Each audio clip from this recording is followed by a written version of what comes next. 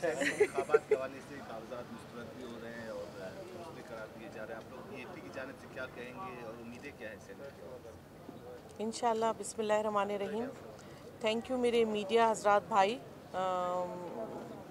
ये एक बहुत अहम इंतखाबात हैं सेनेट के अपर हाउस के।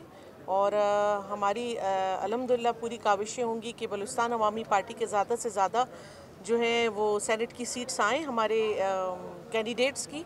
और जो कि आपने देख लिया होगा कि जाम साहब ने जो लिस्ट जारी की है, कि मेरिट के बेसिस पे की है, जिसमें कोई इलाके को भी नज़रअंदाज नहीं किया गया फोकस किया गया है और ख़वातीन में भी आपने देखा होगा कि हमारी एक वर्कर हैं जो डे वन से पार्टी के लिए काम कर रही हैं। जाम साहब ने उनको सेनेट का टिकट दिया है।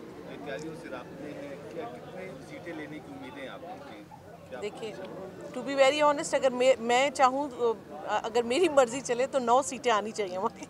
लेकिन ये है कि लेट्स सी इंशाल्लाह अल्लाह ने चाहा तो सेवन से ऊपर अल्लाह ने चाहा हमारा मेरिट की बात की तो मेरिट कहाँ पे है कि एक आज़ाद रुकन पहले पीटीआई से मुस्तरद हो गया उनसे टिकट वापस दिया लिया गया?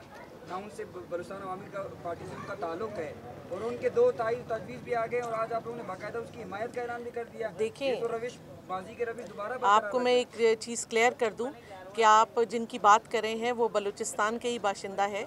और बाप पार्टी जब बनी थी, बलूचिस्तान अवामी पार्टी तो उनमें डे वन से उन्होंने बहुत भाग दौड़ की। पार्टी के तमाम सिस्टम को सिस्टमेटिक करने के लिए जब जो भी आइन बन रहा था और सारे पेपर्स तैयार हो रहे थे तो वो हमारे साथ डे वन से इस काविशों में हमारे कायदीन के साथ थे। ये नहीं कि आज वो फ़र्स्ट टाइम हमें नज़र आ रहे हैं या कभी देखा ही नहीं उनको। बिल्कुल नहीं ही belongs from Balochistan. Thank you सारे एक ग्रुप